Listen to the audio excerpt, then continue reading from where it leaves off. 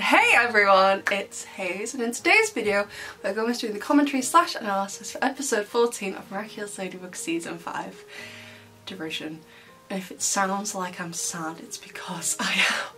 I just want to have a cuddle. I feel so sad right now after watching that, to the point I'm not even sure if I enjoyed the episode. Because I don't think I did. I need to go watch like Guilt Trip or Party Crashers to like cheer me up or something. Anyway, I'm about to spoil the whole episode for you, so if you haven't seen it already, please go and watch it. It'd probably be slightly tricky to find, but I believe in you, you can do it. please watch it. And also, as always, I haven't read the show Bible or seen any of the leaks pretty much, so um, I would really appreciate it if you don't comment any of them down below. Whilst I've seen all the episodes that are officially out, so at the minute 1 to 20 apart from Intuition, I've seen all of them. Um, I haven't seen anything with the leaks for any of the unreleased episodes. Um, so I really appreciate it if you keep them out of the comments. I'm not really going to be theorising that much in this video, a little bit towards the end, um, but not a great deal. Um, but even so, you know, a lot of people watch because they don't want to know either. We just like to theorise and guess about it and talk about it. We don't actually want to know. So, yeah, like I said, I'm not even sure if I like the episode, but I think that's more of like a personal reason if you didn't know. I have anxiety and I experience panic attacks quite a lot. I haven't had the best week of my life in terms of mental health. Um, and between, so today is Saturday, so between last Friday when it was Good Friday and Saturday, so eight days, I think I've had about 10, 11 panic attacks. So they are not fun. So I kind of, going into this episode, I was like, I hope they do the anxiety justice, which in my opinion they definitely did. They definitely did. I don't have a problem with that. Um, but like, it just made me feel so sad. Because like, I love Marinette and I've always been able to identify with it. Like, my favourite Marinette moment was at the end of Heart Hunter when she talks to Luka. One of my favourite scenes from the whole show. I've always been able to really identify with it and after this episode, identify with her even more. And I also love her even more. Like, I didn't do that whole Defense of Marinette video for a joke. I didn't spend like, probably from start to finish, it took a whole day to put that video together from making the notes, writing everything up in the right order, actually filming it, editing it, stuff like that. Like, I love this girl so much and I love her even more. And if if I see I see people being rude about it after this episode, I will make a part two to In Defense of Marinette. Okay, I will do it. I meant what I said in my derision theories, if anyone makes fun of Marinette after this. No do not. Like if you're a new viewer and have come to this video expecting me to be horrible for no reason to Marinette, this is not the video nor the channel for you. I love Marinette with all of my heart and I love her even more after this episode, okay? So please go find someone else because this is not going to be the video or the channel for you. But like I said, I'm not even sure if I like the episode because I came away feeling so sad. Like, so I watched it once, my reaction, so I did a reaction on it. And like, it's not funny. And I understand my reaction videos don't have to be funny, but I do try and make them funny.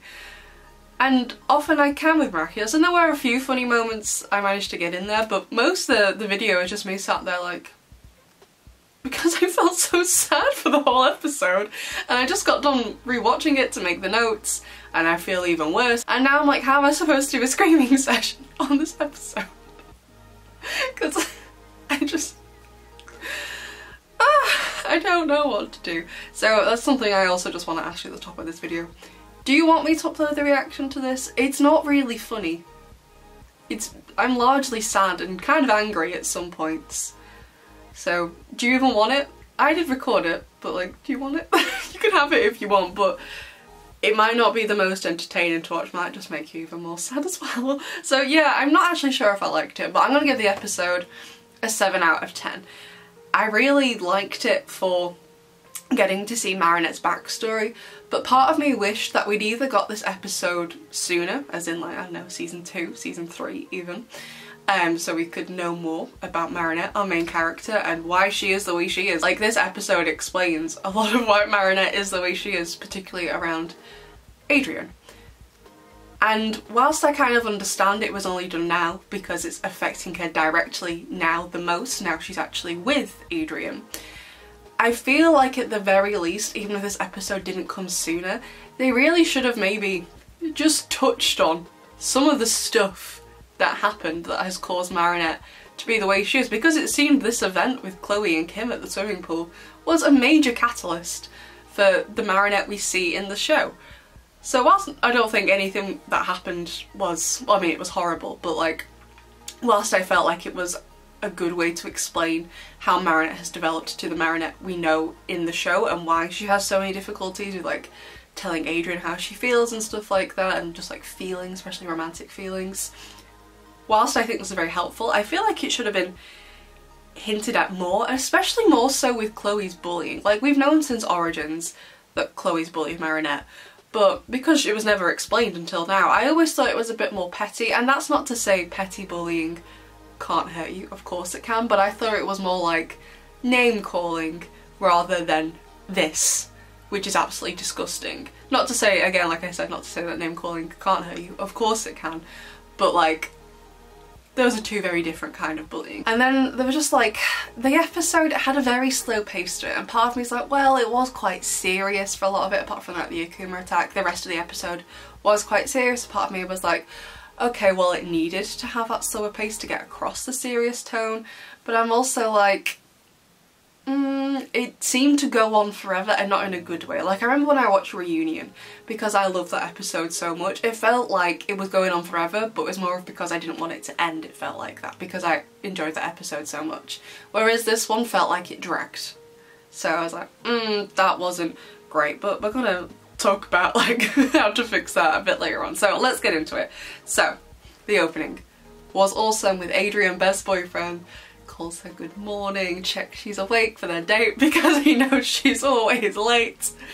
Wonderful. But like he didn't make fun of her for it or like was rude about to her. He was like, yeah, just checking on that you're awake and we're still on for today. Best boy. He was wonderful.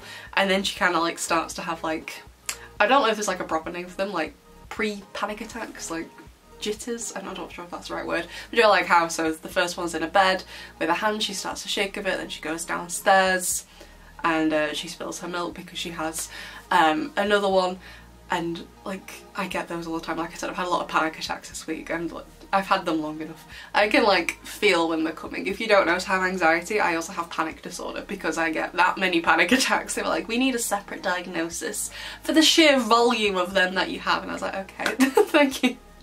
so I was just like, it just still baffles me how people don't take it seriously. Especially when, at least in this episode, you can see the effect it has on Marinette. Like, I don't know if you're aware, maybe you're not if you don't have anxiety, but having panic attacks does scare me because first of all, they're not very nice, but also second of all, they can give you an increased risk of having heart attacks.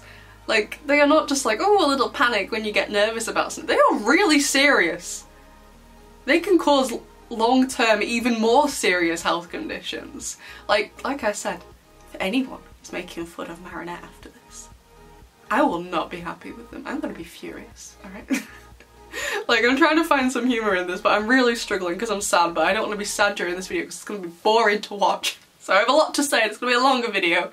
So I was like, okay, we need to make it. But like, I really loved how it was shown in the changing room, so they arrived at the pool, they like pay for the tickets or whatever, they both go in the separate changing rooms, Adrien looking super concerned, Adrien was amazing in this episode just overall, um, and then Marinette has, mm, I wouldn't have said that was a full panic attack, again it was like the start of something bigger, but like she's struggling to breathe and she's leaning against the wall, I just feel like as a person with anxiety, like everyone who has panic attacks, they've all probably not been exactly the same as Marinette's. Like that's the thing with mental health when you portray it in a book or on film, TV, whatever, is that mental health, even though you have the same sort of symptoms, they often present very differently in other people. That's why some conditions can be so hard to diagnose. Try not to go down PhD talk. My PhD is in mental health if you didn't know. uh, not anxiety, but it's still important. Um, so um, I really liked how that was done in the changing rooms. I thought that was, well, I mean, it was hard to watch. When I describe something as awesome in this episode, I don't mean like, oh yeah, that was fun and enjoyable to watch. Like, honestly, I didn't really enjoy watching this episode the first time or the second time, but I think that's just purely because, not because it was a bad episode, because of, I have anxiety and I have a lot of panic attacks because I have panic disorder as well. So it was difficult for me to watch. I would think someone who maybe doesn't like Marinette that much or also maybe doesn't have anxiety or knows much about it may have found more enjoyment in this episode. Because yeah, it's not because it was a bad episode, but I won't lie, I did struggle to find enjoyment in this episode because of how like just how bad I felt for Marinette but also because of how much more I can identify with her. So I was just like yeah. So then Marinette runs off and this is kind of where I think they should have changed the flashbacks a little bit and then she like says to Adrien like uh, like stop pretending you care about me and he is very confused and so was I and maybe you were too. So what I think they should have done which would have helped with the pace is to basically because I think all the flashback they showed was necessary I don't think they put in more than was needed. I think it was all necessary. What I think they should have done is maybe start splicing the flashback with the episode. So the way the episode went, so it opens and it goes from Marinette waking up to Marinette almost getting akumatized, the whole of the flashback, and then Kim explaining to Adrien and Ondine what happened and then goes on to the end of the episode in present day. What I think would have been better is if they spliced present day more with the flashbacks, so it went back and forth. And part of me is like, is that a good idea though? Because hey, you've gotta remember, yes, you're a 26 year old, this is for 8 to 10 year olds. And I'm like, could they get confused? And I'm like, yes, possibly. However, I feel like the flashbacks are really obvious. Everyone in the flashbacks pretty much is wearing different clothes. I think Chloe's not wearing different clothes. Was Juleka? I'm not sure. Rose had a different hairstyle, Kim had a different colour jumper, Max had a different hairstyle, Max looked great. Um, Mylène had a different colour thingy on, even Nathaniel had a different colour shirt. So I feel like it was obvious plus around the side of the screen it was the different colour. Marinette was wearing different jeans, she had her hair a different way. So Clean was at school as well, which she's moved on to um, high school now, right? Oh god. The French school system baffles me. We don't have middle school here, so middle school always confuses me. Like to me, the flashbacks did seem quite obvious and I feel like they would be obvious to a child as well. Plus as well, pretty much all the flashbacks take place at school, whereas the rest of the episode pretty much takes place at um, the pool or I think they were near the Louvre around that area. So there's only part of the flashback that was at the pool but again even in the pool sections Marinette is wearing a different swimming costume and has a blue cap. In the present day she has a different swimming costume and a pink cap. So I don't necessarily think it would have confused them, I think it would have been okay. And plus as well, with the way the episode stands, like I said, it did feel like it dragged quite a bit. Maybe 7 out of 10 is too generous.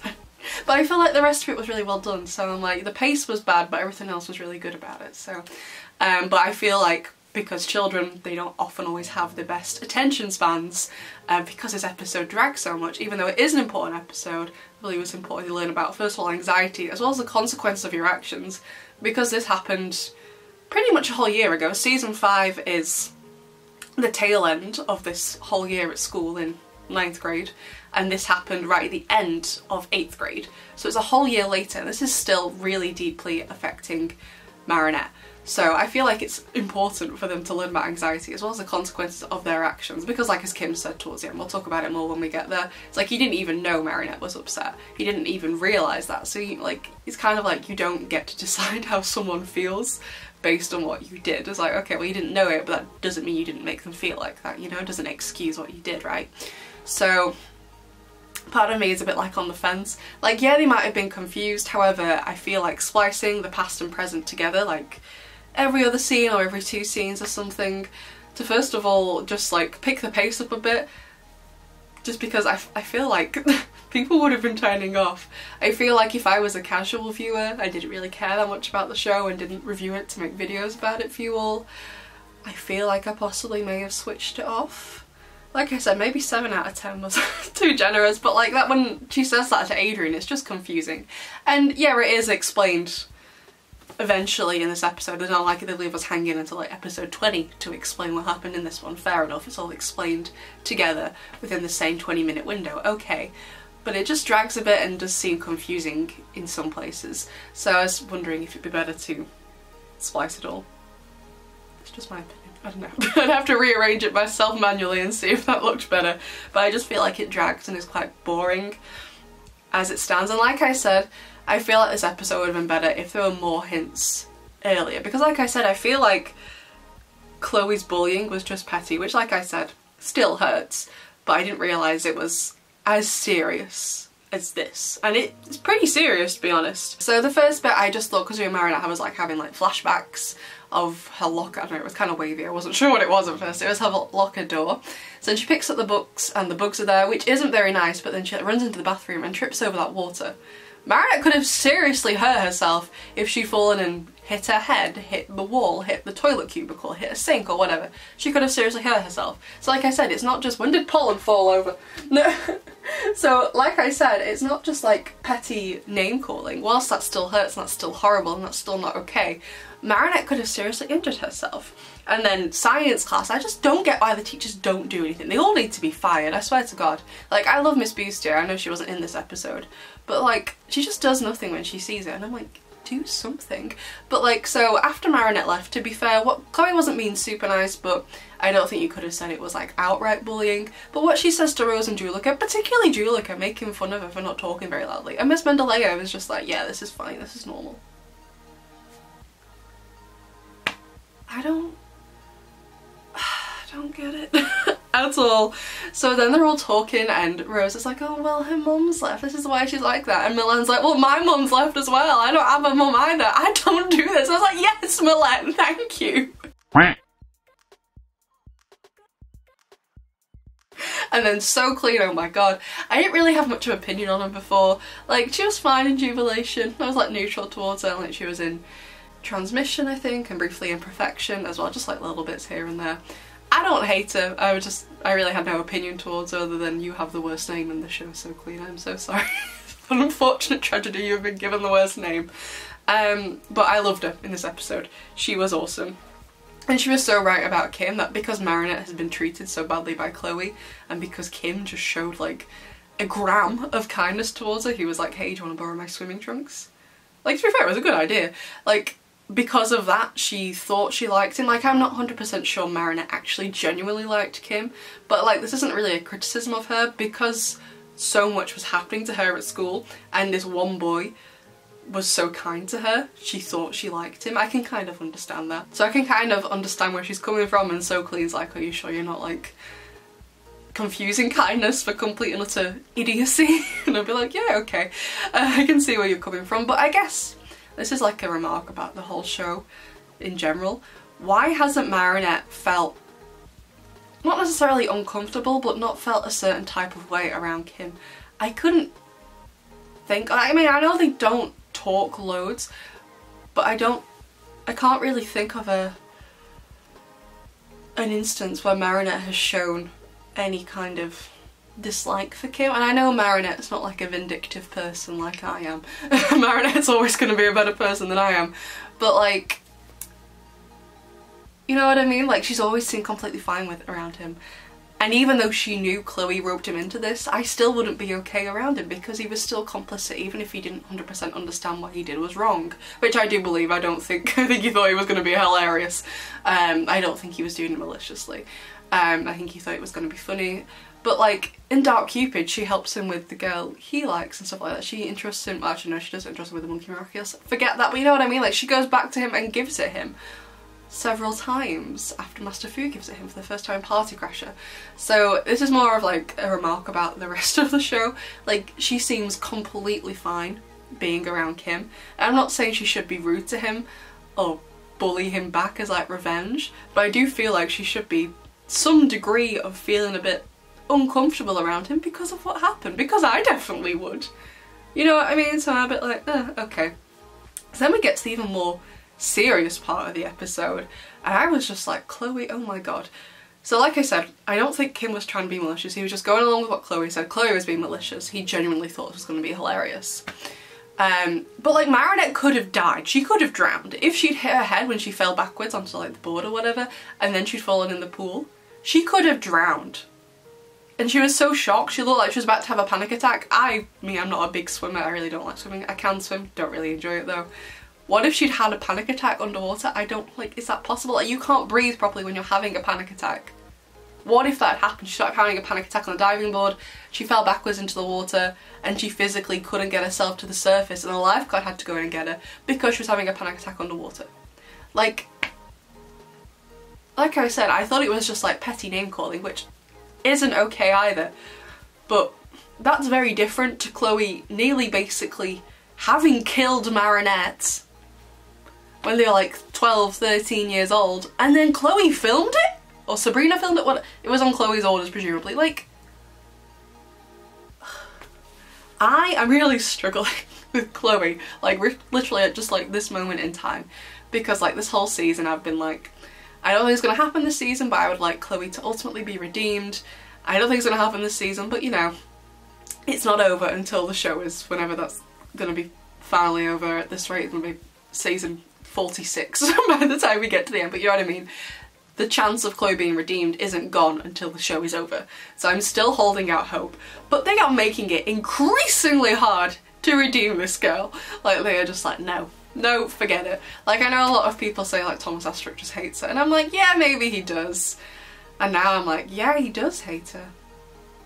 At the end of the season, I was planning on doing an in defense of Chloe video, but I'm like, what on earth can I say to defend this? And I'm like, I physically cannot. There is no... There's literally no way around this. But I'm just glad So Clean was there to get rid of the foam and then also to help Marinette. And like I said, like, her whole like speech about being like, I need to like, you were right, I really didn't know enough about Kim before I went on like this date or whatever it was with him. I need to know more about him, like just how he is like as a person. And is he kind, is he nice, but also other things about him. I just need to be better prepared, which obviously plays back in to Origins and because one of the things she said is they better not be friends with Chloe. I can't date someone who's been friends with Chloe. And Adrien comes into school, like Chloe tells everyone like, my best friend Adrien's coming here today.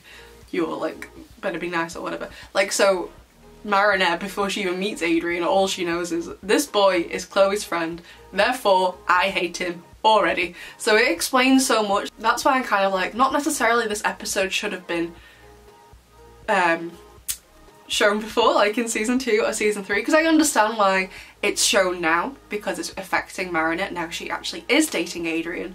but like, I just feel like it was needed before, just some better hints of how serious it actually was and why Marinette is the way she is. You know, so I was just like, Marinette's whole like behaviour towards Adrien since the start of the show is just so much more understandable now. I think I definitely need to make a part two to my defense of Marinette video. I love this girl. I love her so much. I don't want it to get hurt. Oh my gosh, I love her. And like this episode I feel like is gonna really help the people who really dislike Marinette so much. I just, it's just horrible. I just hope, even though this episode made me very, very sad, I hope the people who really dislike Marinette watch this episode and try and learn something. Because not only are they horrible in their hatred towards Marinette, they are horrible to the people who do like her, people like me. Luckily most of the comments under the In Defense of Marinette video were very nice. Even the ones that disagree with me, they're like, oh, I still don't like her for these reasons. And they, you know, really had a reasonable response to the things I was saying in my video. They were nice, they were kind. But there were literally two comments that were just absolutely awful and I just decided to delete both of them because they were downright horrible and basically trying to bully me about it. And I was like no get lost. You're gone. Okay? Like no we're not having this. So it's just absolutely horrible. So I really hope this episode first of all really shows to them what Marinette went through and the reasons why she is the way now. And also shows to them how much her actions have consequences. Because some people just when they're on the internet they just don't seem to think that anything they say matters. And I'm like yeah it does matter. Just because they don't know your name your face where you live where you went to school whatever it still matters. Just because they don't know who you are and you're hiding behind a screen name and a profile picture of Chloe or something you know what I mean? Like it still matters. People just stupid. Anyway so like I said all the teachers need firing. Like that bit with So Clean and Chloe like when I was watching the reaction I was like well they can't do anything. Happened outside school like even though Chloe basically did try to kill Marinette again, they can't do anything because it happened outside school. Really, they should have called the police, to be honest. I would have called the police. Also, why does Sabine and Tom literally do nothing most of the time? They literally just believe him. Like in the episode Ladybug back in season three, they're like, yeah, Lila's right. Mm-hmm, mm-hmm. We're gonna trust this girl who we don't know over our daughter. Like, I understand Lila did have evidence. Fake evidence nonetheless, but still evidence, you know? But like, I don't, the adults in this show are stupid. Like I think the adult with the most common sense of the show is probably Amelie or Mr. Banana and Natalie. Just the three of them. we only need those three. like fire all the teachers, seriously. They're just awful. But I really liked how Marinette kind of like saved herself from her own akumatization. I thought like Adrien was to come in from the trailers, but like she saved herself from what So Clean said as she was leaving the school. And it really echoed back to Alya. Like So Clean and Alya after seeing this episode, they seem very, very, very similar.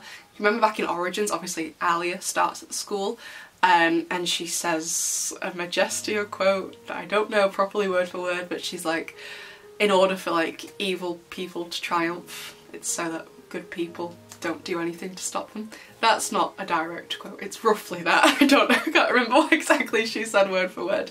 But like, they are very, very similar characters, so I can really understand why Marinette really likes Alya, because Alya from the start is like, no, Chloe, horrible, we don't like you.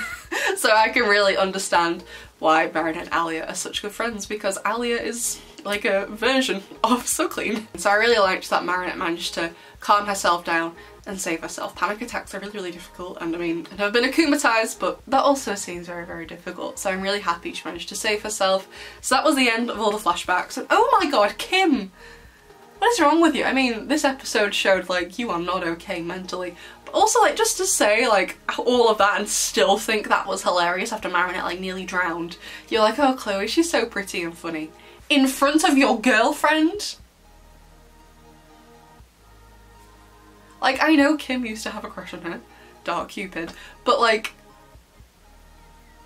to, you know what I mean? I'm just like, Kim, do you not have a brain? Where is it? And I absolutely loved as well in the scene Adrien starting to get angry, oh boy. So then we get to the Akuma attack.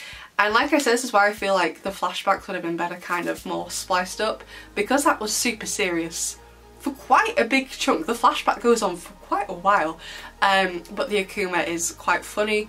But also at the same time, I was struggling to enjoy it because of how sad and how long it went on for. Like, I understand the Akuma was meant to be funny and we needed that comic relief, but I was so depressed by the time we got to the Akuma. I was like, I am not enjoying this. Like, this episode just makes me sad. But I do really hope you found it funny because it was definitely needed to break up the seriousness of the flashback and then we have right at the endings bracketed again by something more serious with Chloe. But we'll get to that in a bit more. So, Protective Adrien, yes, as Cat Noir, he was like, this boy, he deserves it. And I was like, I do not condone violence, but also, I would also agree in this instance. like, yes, I thought he was wonderful. And again, it also gave the Akuma attack a more serious tone pretty much up until Cat gets hit with the arrow or whatever and his cataclysm turns into like the bouncy balls. So I was like, it makes it more serious. Again, the tone of this episode was just a bit strange. Maybe it should be a 6 out of 10. Because the tone and the pacing and the structure were just a bit off. Like Migration yesterday was amazing with the tone and the pacing and the structure and the plot and this is a bit like in comparison. Like it was important, don't get me wrong, but I'm also like, mm, writing wise not the best episode. Which is a shame as well because I believe from what I heard on Twitter, Derision is the episode that took the longest to write and I'm like, I'm not really sure why, to be honest, but part of me is wondering now because it took the longest? Has it been overwritten? That's the thing, if you spend so long writing something and going back and re-editing and revising all of it or just bits of it, sometimes it's overwritten and ends up being not as good. So maybe that's what happened here. I can't remember the time frame, but apparently it took about four times as longer than the other episodes. So I'm a bit like, craggy. Maybe it was a victim of overwriting. They took too long on it and it became bad because they got too focused on it. Sometimes I think as a writer it's best just go for it, see what happens. I think it's like the see what sticks method, you just throw it at the wall and see what doesn't fall. so maybe it's a victim of overwriting, possibly. I don't know. But what I am really hoping from this is that we've seen Adrien can get pretty angry and he's started to get more angry this season, which is great. I don't know if that's just because he's got more freedom since he no longer has to do modelling or whatever, but I'm like, I'm hoping in the finale you are gonna do something to your dad. Just, even you don't hit him, because violence is not good. But just say how you're truly feeling to this man, you know, really communicate how he's made him feel. Because I'm not sure if Adrien's aware of this, but he's being emotionally abused. He's being emotionally neglected by his dad. Not so much this season, he's been a better dad to him this season, but he's still a pretty bad parent, a pretty bad dad. So like, you know, I really want him. Like, we know you can get angry, Adrien. So do it. Don't wait, do it, please. and I know this was just needed for the episode, they couldn't wait the five minutes or whatever, but like Tikki, oh my god. Eats apparently lightning speed in order for Marinette to get another Lucky Charm. Okay, Tikki. and also another thing I really disliked about the Akuma is the fake laugh track. It just seemed really ingenuine. Like, I feel like after Cat Noir gets hit with the arrow, the rest of the scene was funny enough on its own, even though I didn't personally find that much enjoyment in it because of what happened. The rest of the episode, it's like, I feel like the whole sequence with like the toilet and stuff and the glue and things was funny enough without the laugh track and it just made it seem really fake. I don't know, maybe that's just because of the rest of the episode and how serious it was the laugh track didn't come across as funny to me. It was just like, okay, bit strange. It was a really odd choice, I think. So I was just like, yeah. So then back at the pool after the Akuma, Ondine, amazing. Like what she's been in. She's like been in Siren, Heroes Day, um, Ephemeral, think that's like literally it. I can't remember the last time she actually had lines, probably in Siren. We hardly ever see her. Um, she was amazing. Like she was like Kim was like, I had no idea I hurt her feelings though. It's like, okay, yeah, fair enough you didn't know, but like, you still gotta apologise when someone tells you. Like I said before, you don't get to decide if you've hurt someone's feelings, okay? Like yeah, you might not have meant to, but if you have done, then you should still say sorry. You don't get to decide if you've hurt them, you know? So then they leave the pool, and I love the little Adrianette at the end where Adrien's like, I'm always to be here for you, we can work this out together, you don't have to do this on your own. And she goes to take his hand and then she's like, no, I'm not quite ready. And whilst the Adrianette shipper and me wish she'd taken his hand and been like, yeah, we can do this together. Like, I don't think that was a full out rejection that she can't do, like, use Adrien's help, they can't do this together, you know? I did kind of like that she wasn't okay right away. Like a lot of people think that when someone's mentally ill, if they get a girlfriend or a boyfriend or whatever, that they're gonna be fine, that their partner can like miraculously cure them of their depression, their anxiety. I'm like, no, sadly it doesn't work like that. it doesn't. Just because you have depression doesn't mean you're gonna stop having depression the moment you get a boyfriend.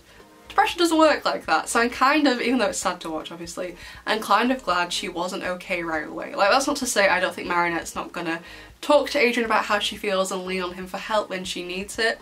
I think she totally will and I hope she does because that's a great and healthy relationship if she does that with him. I think that would be good if she did, but she knows she has like a lot of self and inner work to do in order to come to terms with everything that happened and like rebuild herself and her self-esteem, you know? So I kind of like she wasn't okay right away and knew she had to do some stuff for herself as well instead of purely relying on Adrien, which I really, really liked. So, the very, very ending with the scene with Chloe. Like I said, they are making Chloe redemption very, very difficult. Extremely difficult. I definitely think um, Sabrina is like gonna portray Chloe like Sabrina's face in this scene. And when Chloe was like, oh, they're just doormats for us to use. And Sabrina was like, not a fan of that. If I was Sabrina, I would have either just left or thrown the bottle of nail polish at Chloe. I'd be like, no, no, I'm not staying for this, goodbye. And I just love Adrien. He's like went to confront Chloe now. He finally understood everything, which like I said, I feel like it should have been hinted at a bit more because it did kind of come out of absolutely nowhere. Um, but like he was like willing to basically cataclysm Kit because of what he'd done to Marinette and he was willing to drop Chloe as his friend who he's known since he was a child for Marinette. And I was just like yeah great boyfriend. Like why would you want to date anyone else? This is why I don't have a boyfriend. Adrien Agreste is the standard. And I have yet to find anyone remotely similar. So what's the point? I don't need one if he's not going to be exactly like Adrien and it's just a bit like, does Chloe do all of this just because? Just because she hates Marinette, because she's an easy target, because she looks down on her because of the class disparity between them? I don't know, but like I said, it's making giving Chloe a redemption arc very, very difficult. They really do not like Chloe in the writing team, my god. They're like, no, forget Chloe. So, um, yeah, but I'm just a bit worried about Adrien. Like, is Chloe gonna do something? Because right at the end she says traitor. So I'm a bit like, hmm. But that's for another video, another day. So I did give it a 7 out of 10, but after discussing all of this, I think I'm gonna put it down to a 6 out of 10. Didn't have the best pacing and overall structure and the tone was off. I'm not sure the Akuma was quite right for this episode. Also a bit annoyed that they just pretty much reused Dark Cupid's design. Like that was just a bit strange when it was really nothing similar to Dark Cupid, really in my opinion. But feel free to disagree with that. Uh, so I'm gonna give it a 6 out of 10. Um, usually I'd give it lower if the tone and structure and plot was that bad. However, I do feel like they portrayed Marinette's anxiety really well, a song with anxiety, but obviously feel free to disagree like I said before. Mental health conditions present really differently in other people, so if this wasn't your version of anxiety, you didn't feel represented, you're completely within your right to think that. Um, that of course is okay, um, but like I really liked the way they portrayed it and how Marinette resolved it largely on her own which I really liked but with like the past help of So Clean and Adrien and stuff I thought it was great. So for that reason Marinette of course is getting the MVP she was amazing in this episode. I love her even more now. She is my daughter. I love this girl with my whole heart and I will defend her until the day I die. I love her so much. However, special mentions to, of course, Adrien, best boyfriend in the world. He was amazing. Also to So Clean, she was amazing too. Now I want to see more of her in the show. Let's go back to the art shop for an episode, please. I want a spin-off show of So Clean's art show, please. That'd be awesome. And also to Ondine. She was amazing in this episode too. She does nothing for like three seasons, then comes in and delivers some of the best lines in the whole show. yes! So yeah, I'm not actually sure if I enjoyed the episode because I, I still feel sad. So I don't know, I need to go and watch Party Crasher and Guilt Trip to cheer me up. But anyway, besties, I'd love to know what you think of this episode. If you're gonna write me a little essay, I cannot wait to read it, but please put in some paragraphs. I also just want to say, it's fine after this episode you still don't like Marinette. However, what I will not stand for in the comments is just unbridled hate towards her. I personally do not like all of the characters in Miraculous. I don't pretend that I love them all, because I don't. I despise Chris, and whilst I did used to hate Kagami, she's definitely grown on me. She is definitely not in my top 30 of my favourite characters in Miraculous. I still don't like her a lot. However, the difference between me disliking Chris and Kagami is that I say I dislike them and whilst sometimes I do talk about why I dislike them when they're in an episode, more so Kagami than Chris because Chris is never in it. Can't remember the last time I saw Chris, was it Simple? I don't even know. But anyway, I don't go on full on hate-filled vitriol rants about how much I despise these two characters or any other characters I dislike. Not a big fan of Kagami's mum either, not a big fan of Felix. But I don't do that. There's a difference between disliking a character, which you of course are allowed to do, and the hate-filled rants I see on Twitter, on Instagram, on Reddit, in YouTube comment sections about Marinette, Zoe, whoever. Okay? So if I see any of that, I'm just gonna delete it. You're entitled to your opinion, of course you are, but I don't think you should be just spewing hatred for the sake of hate, okay? So I'd love to know what you all think, besties, and I'll see you in the next one. Bye!